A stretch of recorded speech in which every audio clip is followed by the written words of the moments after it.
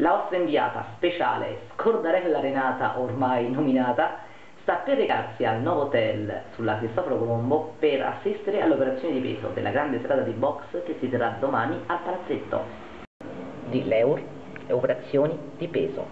E un messaggio dei vostri pugili per voi.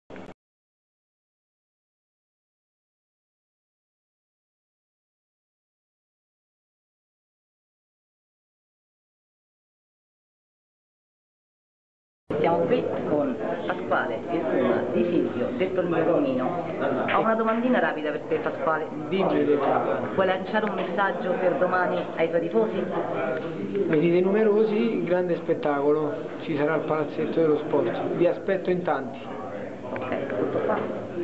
Yes. Perfetto, grazie Pasquale. Ciao Renata. Agnello che sta mangiando. Ciao. Buon appetito a me. Una domandina semplice e banale, no, perché una domanda è, vuoi lanciare un messaggio per il tuo pubblico per domani? Il mio pubblico già sa tante cose di me e mi, seguirà, mi seguiranno numerosi. Li ringrazio per questo e spero di farli divertire domani sera. Grazie.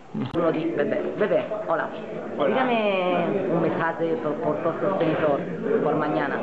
Eh, chicos, estamos aquí, hemos cumplido con el pesaje, la báscula. Mañana vamos a dar lo mejor, guerra, muerte y con el mazo. Grazie. Ci lanci un messaggio? Domani sera vi aspetto numerosi. Tutto qua? Sì.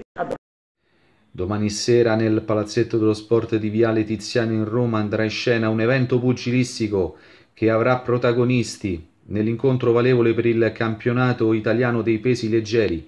Pasquale il Puma di Silvio, campione in carica, che verrà sfidato dallo sfidante ufficiale Vincenzo De Black Hat Finiello. Successivamente, per il campionato dell'Unione Europea dei pesi Super Gallo, il campione in carica, lo spagnolo Abigail Medina, verrà sfidato dal romano Emiliano Globetrotter Salvini.